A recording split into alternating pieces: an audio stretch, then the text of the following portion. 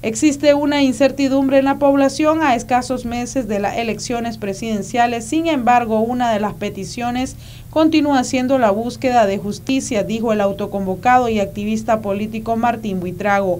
Bueno, nos están llevando a unas elecciones donde no sabemos las reglas del juego todavía. Yo creo que lo han dejado muy, muy a la deriva esta situación política en Nicaragua en cuanto al tema electoral, ¿verdad? Porque si bien vemos ya estamos ya prácticamente a, a, 11 meses de, las elecciones y nosotros miramos que, no hay, pues no, no, tenemos libertad de movilización, libertad de, de reunirnos nos están violando cada día, nos están asediando y violando nuestros derechos constitucionales de, libre movilización, pero una de las, de las, prioridades que el pueblo está exigiendo es justicia, ¿verdad? libertad, eh, independencia de los poderes del Estado, ¿verdad? y que sean juzgados y sancionados todos los, no solamente los crímenes que han cometido, también eh, son crímenes, ¿verdad?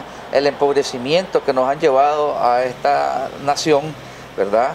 Eh, hay que investigar todos los nexos que ha tenido eh, este gobierno, ¿verdad?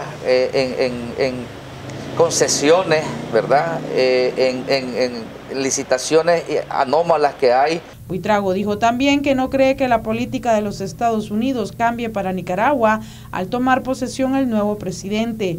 Bueno, la política exterior de Estados Unidos no va a cambiar mucho. Ellos tienen una política de Estado, ¿verdad?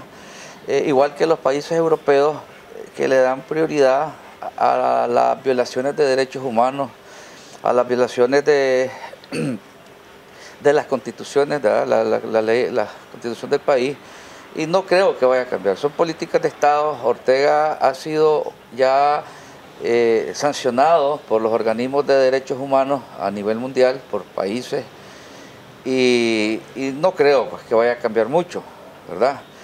eh, sí puede cambiar eh, el mecanismo que tienen ellos de, percepción, ¿verdad? Hacia la poca independencia que tenemos como ciudadanos aquí en Nicaragua en cuanto a, a, que resolvamos nosotros la, la situación política de Nicaragua. Pues. Para Noticias 12, Castalia Zapata.